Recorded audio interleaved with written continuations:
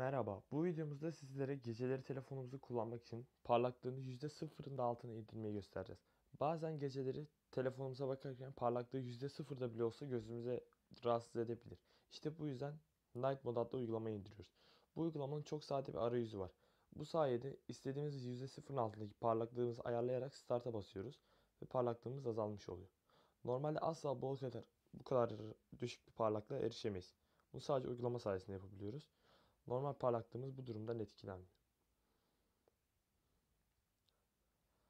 Ek olarak uygulamada şöyle bir kötü yanı var.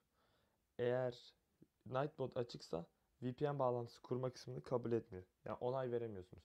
VPN kurmak istiyorsanız Night Mode'a onay verdikten sonra yapmanız gerekiyor. Şimdi VPN'i açıyoruz. Burada tamam butonuna basmayacak. Tamam butonuna basması için Night modumuzu durduruyoruz. Sonra gelip kabul ediyoruz.